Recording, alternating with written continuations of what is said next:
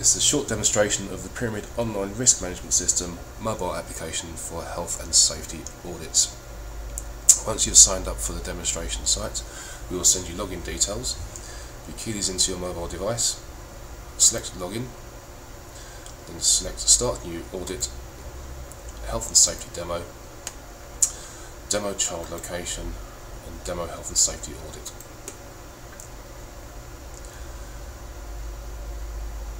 The demo site will then appear. If you select the menu button, it will show you a slide out menu to the left hand side of the screen. Answer the questions on the audit using the question sections or the question list. So the question list is here. If you select that button there, please note these the above questions are for demonstration purposes only.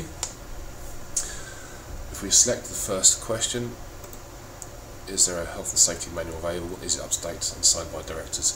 The auditor has the opportunity to answer red, amber, green because it works off of traffic light system.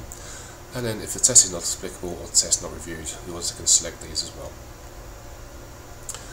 So for example, we'll select those signatures recorded for this option here, and then we'll go down, the auditor has the answer, the opportunity to add in additional comments to this answer, recommendations, action taken, and also action timescale. From the drop down menu you can put in immediate, one week, one month or three months. So for this one we'll put in immediate and select save. It's important to select save as you go through the audit as it will save the information onto your device ready for upload when you get back into a Wi-Fi signal. You have also have the ability to flag issues as facilities issues or housekeeping issues. This is for use later on because we can pull a report out that says this item is a facilities issue and pass it to your facilities team or housekeeping issues where you can send it to the site to resolve quickly. To go through the questions you can either use the pop-up menu at the bottom of the screen, which will take you through the questions if you remember which, which questions you're looking for, or select the next question, which will take you straight to the second next question in your audit schedule.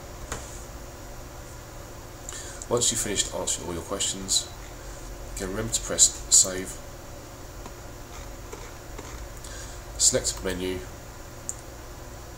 go to main menu, and sync the device and and select the force sync option which will then sync your device back to the server.